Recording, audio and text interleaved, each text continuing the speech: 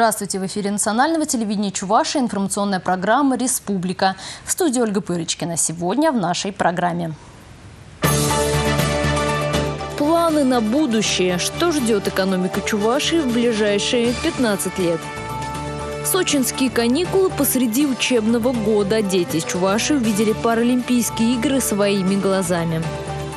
Горячие темы из сети, что обсуждает интернет-общественность республики.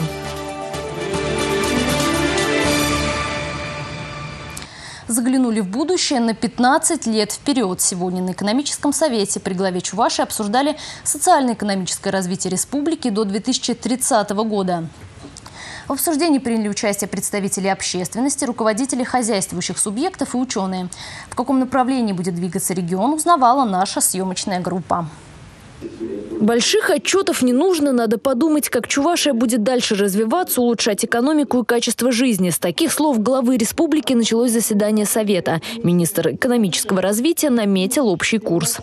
Мы выдвигаем инициативы, чтобы Чуваш стал территорией обновляемой экономики. Это значит, что традиционные отрасли должны получить развитие, молодые люди перспективно, перспективно работать в интересной для себя профессии. Среди интеллектуальных людей Предприниматели могли бы раскрыть свой талант в новых отраслях. Никто бы не уезжал, и капитал бы не покидал территорию республики, а примножал ее богатство. Звучит красиво, но пока больше похоже на мечту. Тем не менее, воплотить ее в жизнь попробуют. Для роста экономики планируют создать площадки для нового бизнеса, развивать производство экологически чистых товаров и повышать предпринимательскую активность жителей. Кстати, совета спросят и у населения. На сайте экономического развития уже разместили баннер. Свои предложения может высказать любой желающий. Ну а сегодня высказались предприниматели и специалисты. Я занимаюсь вопросами сельского хозяйства, поэтому, если э, вы позволите, я несколько слов э, вот, остановлюсь на развитии э, этой, этой отрасли. Вот, если мы до последнего времени ориентировались на расширение внутреннего потребления и обеспечение населения, собственного населения, то сейчас можно подумать на развитием экспортных возможностей Чувашии. В частности, в Академии мы разработали новую модель мясопроизводящей отрасли на примере э, промышленного производства индейки. Основные тенденции развития спроса на электротехническую продукцию в России. Ну, прежде всего, это комплексные поставки первичного и вторичного электротехнического оборудования. Запрос на выполнение проектов под ключ. Прямая работа заказчиков с производителем, минуя посредником.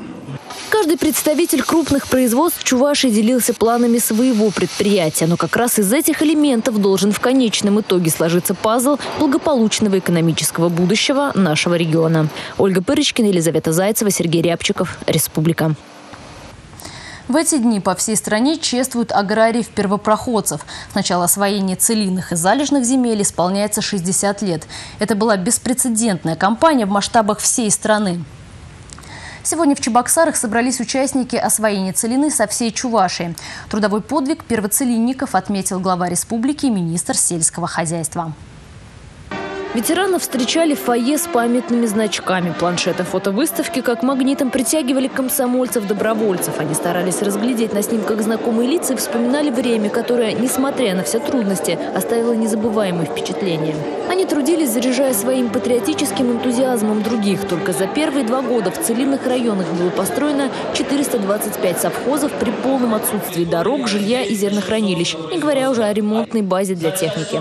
Благодаря целинникам удалось несколько раз увеличить увеличить производство зерна. В масштабах огромной страны это настоящий трудовой подвиг. Это было очень актуально в то время. Накануне памятной даты мы решили поближе познакомиться с первопроходцами. Герои нашего сюжета свои путевки на целину получили не без труда. Достойных выбирали открытым голосованием на комсомольских собраниях. Трудились, трудились они на целине в Казахстане. И по признаниям самих ветеранов труда, этот период в их жизни был самым ярким. Студент Валериан Дубинин в 1957 году работал комбайнером в Павлодарской области. Он и его помощники скосили, собрали и обмолотили хлеб с площади полторы тысячи гектаров двумя комбайнами. Пшеница, вспоминает ветеран, была в тот год отменная, ни одной соринки. В стране тогда царил высокий патриотический дух, и именно целина, считает Валериан Харитонович, помогла ему повзрослеть, укрепить свою волю и сформировать характер. Он считает, что отряды добровольцев творили чудеса. Освоить 42 с лишним гектара целинных земель было непросто. Остались в его воспоминаниях и горькие страницы. А то, что остались в памяти, это были бунты хлеба. Весь хлеб, который мы обмолачивали, свозили на ток в каждом отделении. На таку никаких э, амбаров крытых складов, навесов. Ничего не было, все под открытым небом. Когда вернулись в Казань уже после завершения уборки, Правда, сказать надо честно, что не все хлеба, которые были на корме, были скошены и обмолочены, ибо э, в начале, в конце сентября, начале октября погода быстро испортилась, начало, нач, а, дожди пошли, потом даже снега пошли. И в связи с этим у нас был отпечаток остался такой, что а, не, жалко, не все могли мы убрать. Практически в голых целинных степях комсомольцы создавали новые поселки и города. Для Читы Симаковых одна из строек оказалась судьбоносной. Вчера жили в палатках, это как обычно, куда чистое поле. Ничего нету. В палатках, женщины в одни палатки, мужчины в другие. Вот потом во время работы все равно рядом находим друг у друга. Так и познакомились. Познакомились, и уже люди стали ну, свадьбы играть, делать. И мы давай тоже поговорили. Время пришло. Вот так сам свадьбу сыграли и продолжали работать. Работа была нелегкая и у мужчин, и у женщин. Особенно трудно было в первый год, вспоминают супруги. Не хватало строительных материалов и ездили за 25 километров на рудник за булыжниками. Не хватало воды, да и путь к ней был тоже не близкий. Вот там колодец был. Из этого колодца для, для совхоза воду возили, питьевую воду. Это тяжелая работа. Вот стои, машины подъезжаешь, на машине в кузове две бочки такие были. Я не знаю, ведер сколько идет. 50, наверное, каждый бочку. Вот поставили, стоишь между ними. Одна подает, оттуда достает из колодца, другая выливаешь. Так по очереди наполняли вот эти бочки и привозили совхоз. Таким образом возили, обеспечивали питьевой водой. Сейчас, спустя 60 лет после этих событий, у Николая Кондратьевича и Марии Васильевны Симаковых одна шкатулка для наград на двоих и небольшая стопка черно-белых, теперь уже семейных фотографий, на которых сохранились памятные моменты тех четырех лет, что они прожили, поднимая целину. Вот этот совхоз, который мы строили за лето, соревновались тоже на лыжах зимой стужу. Вот футбольная команда была, мы ездили с ними. Вот наша свадьба была. И старшая дочь у нас там родилась. Целина объединила тогда более полутора миллионов молодых людей по всему Советскому Союзу. Трудовой подвиг участников этой грандиозной кампании отметили государственными наградами. Прошли годы, но для многих из них эти награды по-прежнему самые дорогие. Оксана Заметина, Регина Кубайкина, Андрей Спиридонов, Антон Вовк. Республика. Энергоснабжение города Спутника стало более надежным. На Новочебоксарской ТЭЦ-3 запустили новый турбоагрегат.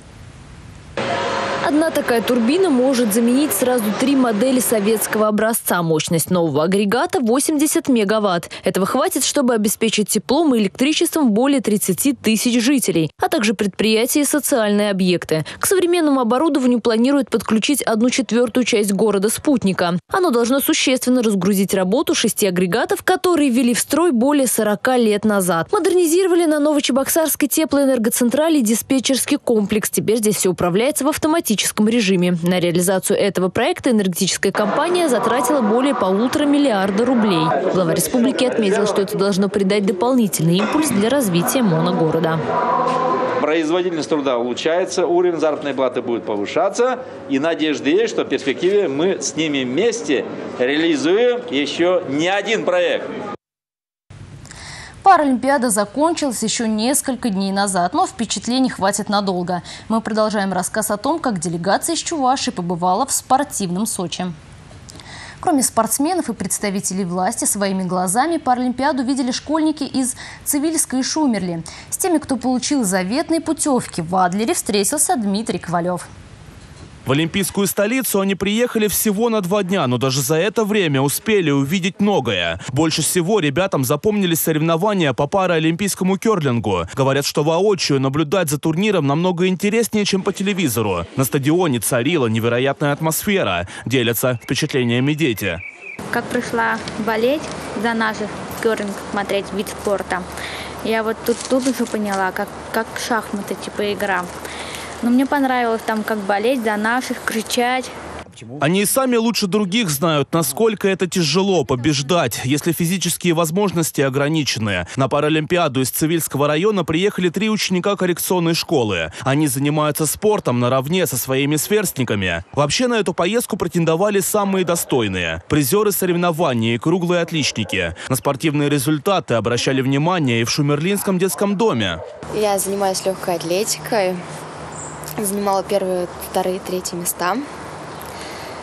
То, что я сюда поехала, это только просто за идеальное поведение.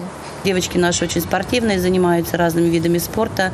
Это как легкая атлетика, вольная борьба, лыжи, коньки и так далее.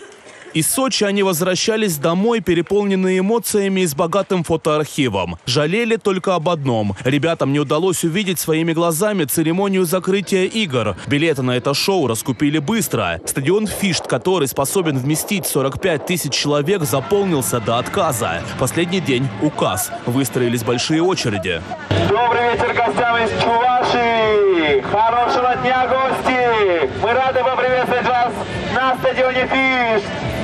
Сидя на трибунах, можно было увидеть то, что не вошло в телевизионную трансляцию. Вот так на стадионе появились спортсмены из других стран. Арену оборудовали специальными конструкциями, которые поднимают наверх декорации. На этом шоу режиссерам удалось объединить и оперную музыку, и 3D-эффекты, и захватывающие акробатические номера. Эффектная точка церемонии. Хит, который уже на старте игр предрек победу российской сборной.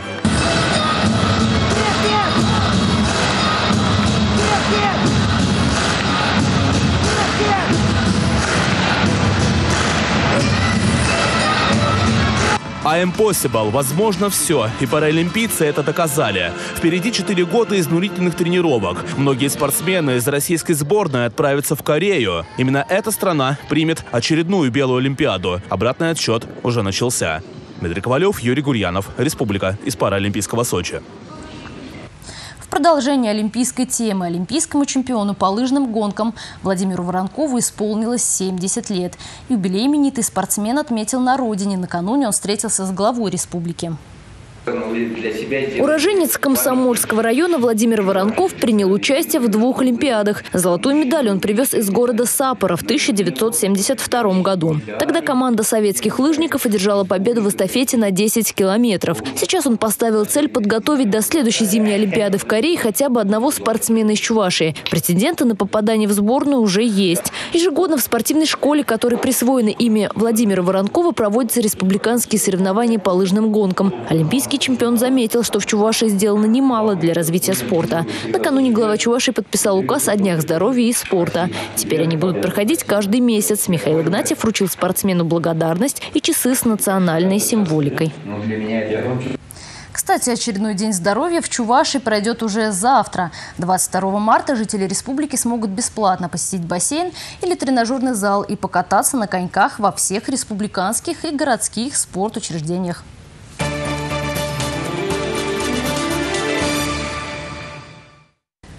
Сегодня в наш традиционный пятничный обзор новостей сети попали инициативы властей России, Чувашии и Чебоксар. Интернет-сообщество не оставляет без внимания и эту сферу. Скандал вокруг Украины не утихает. Совет национальной безопасности и обороны в Киеве поручил МИД Украины ввести визовый режим с Россией. Хотя премьер-министр Арсений Яценюк заявил, что с этим вопросом не следует спешить. Вопрос нашел отклик и в душе чувашской благосферы. Зачем? Друзья, зачем? Россия и Украина вместе. Сколько родственников, друзей, знакомых живут в наших странах? Зачем все усложнять? Давайте жить дружно и не относиться друг к другу предвзято. На уровне муниципалитета тоже произошли изменения. Остановку общественного транспорта «Дом ветеранов» по улице Университетская переименуют в улицу Мичмана Павлова. Неудачное, на мой взгляд, название. Путаница будет. Назвали бы остановку микрорайон Алиса по имени ЖК Алиса. И просто и понятно. Вообще не понимаю маразм называть остановки по улицам. Называть надо по единичным объектам, торговым центрам. Вот не очень понимаю, с чего шум поднят. Не первое и не последнее переименование остановки в городе. Так что, по каждый референдум, через 5-6 лет никто и не вспомнит, как она называлась изначально, и все устаканится. Широкий отклик на форумах нашел и новый проект администрации Чебоксар «Открытый город». Глава администрации Алексей Ладоков провел открытую встречу с жителями Ленинского района. В зале не осталось свободных мест. Откровенный разговор о путях развития города пришли поддержать, поддержать более 700 человек. Встречи в формате открытого диалога, по мнению руководства столицы, становятся неотъемлемой частью управления муниципалитетом. В этом суть проекта «Открытый город». Каждый житель имеет возможность непосредственно обратиться к представителям органов власти и высказать свое мнение. На очередной встрече с главой администрации Чебоксар было поднято немало волнующих тем, одна из которых – развитие дорожно-транспортной инфраструктуры. Мы в этом году планируем начать реконструкцию дороги Айги это улица параллельно Богдана Хмельницкого в новом микрорайоне. Средства заложены, ведется проектирование. В планах также расширение самой улицы Богданки от залива, от улицы Коммунальной Слободы до Ягодного переулка практически. Ну и в ближайшее время мы начинаем реконструкцию перекрестка Фучика-Богданка. Проектно-сметная документация также имеется, стоимость работ больше миллиарда рублей. Горожане не боялись высказывать и свои замечания. Владимир Чапаев счел проходящие публичные слушания по строительству объектов номинальными, предложил отменить результаты прошлых встреч и провести новые. Были затронуты вопросы уплотнительной застройки, функционирования речного транспорта, обустройства парковок, больниц. И нам обещана была поликлиника вместо медсанчасти электроаппаратного завода. Когда начнется строительство? Сегодня ведется проектирование этой больницы. Определен, определена подрядная организация, архитектурное бюро, которое уже защитило эскизный проект. В этом году они должны завершить проект этой больницы. Точную дату не назову, точный год не назову, то ли с 14, то ли с 15, то ли с 15, то ли с 16 года идет финансирование строительства. То есть в ближайшее время мы эту больницу строить начнем. Следующая встреча с жителями в рамках проекта «Открытый город» состоится 27 марта в 18.00 в средней школе номер 37. Желающие смогут задать вопросы заместителю главы администрации по экономическому развитию и финансам Максиму Семенову. Вместе мы должны сделать наш город комфортным, качественным, стабильным для жителей, для гостей столицы. Анастасия Алексеева, Светлана Аликимова, Антон Вовк, Республика. Это все, что мы успели рассказать вам сегодня. Я с вами прощаюсь. Хороших выходных.